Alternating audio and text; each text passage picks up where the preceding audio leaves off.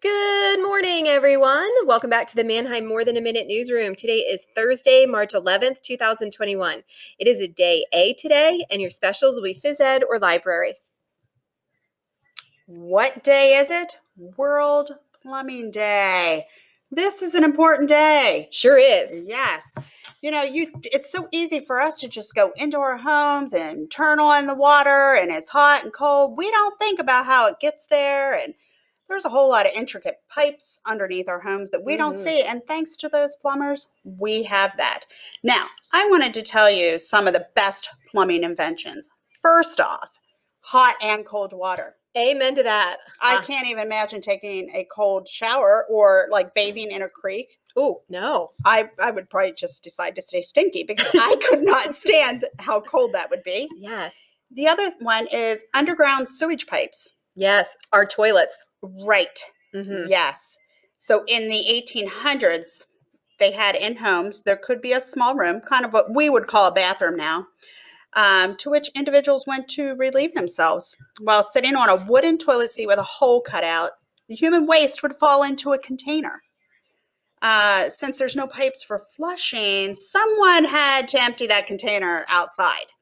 So raise your hand in your classroom if you are the youngest person in your family. So if you are the youngest child, raise your hand. Well, I would be raising my hand. Well, so would I. I'm the baby in my family. So am I. So, but now we're not because we have kids. So this mm-hmm. would not. If you are the youngest and you have your hands raised, your job back in the 1800s would be to empty that container that has been filled by your family. Whew, thankful for World Plumbing mm-hmm. Day. Thankful for plumbers. Uh, yeah. So I'm glad that that doesn't have to be anybody's job now. And uh, and dishwashers, um, they help with dishwashers, right? Hot and cold water, laundry deter or uh, washing machines. Yes, yeah, that's a very important job. Very important. World Plumbing Day. Things that make you go, hmm, are you terrified that a duck is watching you? They have a name for that. It's called anatidophobia. There must be something about that. I never knew. I never thought that there were ducks watching me, but now I'll notice. The core value is patience this month.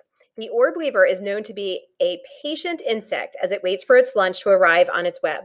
These spiders are known as garden spiders as they spin their webs just about anywhere. Some common spots for these spiders are in plants, between trees, under porches, on porch lights, fences, play equipment, anything that you can see. Look carefully. You may spot an orb weaver waiting patiently in its beautiful web for an unsuspect, unsuspecting insect who is just about to become their dinner.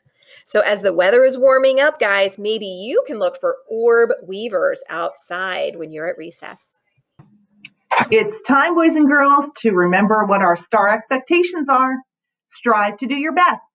Take responsibility for your actions. Always be safe and respect people and property. Go and be great today, Manheim.